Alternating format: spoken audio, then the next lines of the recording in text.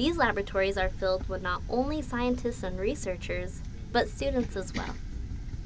Helios scholar Jennifer Libby works in a wet lab where she works on rare forms of pediatric cancer.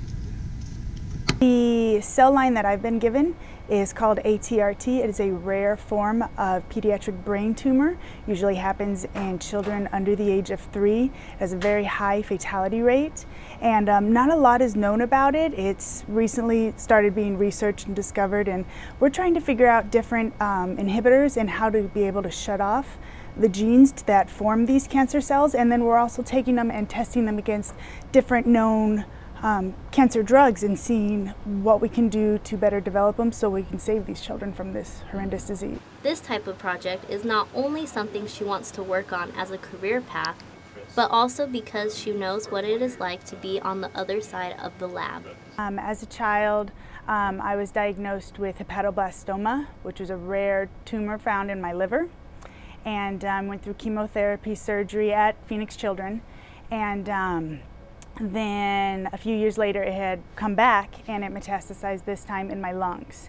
And so the doctors basically gave me 50-50 shot of living and um, I had to go through surgery, chemotherapy again, this time the old drug that they had given me the first time, and then a new drug that had recently been released to the public. So it's because of research and new drugs and new therapies that I'm alive and this opportunity wouldn't have been possible without the Helios Scholar at TGen program. So they're actually working in the lab or with the research administrator or whatever the position may be. So they're not doing things like taking out trash and cleaning glassware. They're actually participating in a real project that that lab is working on. Even uh, when I got the phone call that I had been accepted into the, uh, the scholarship program, I was like, wait, what? Really? I got it? I was so excited. And um, Helios is just so generous at being able to provide this for us students and to give us the opportunities to broaden our horizons to get this real life experience before we actually finish school.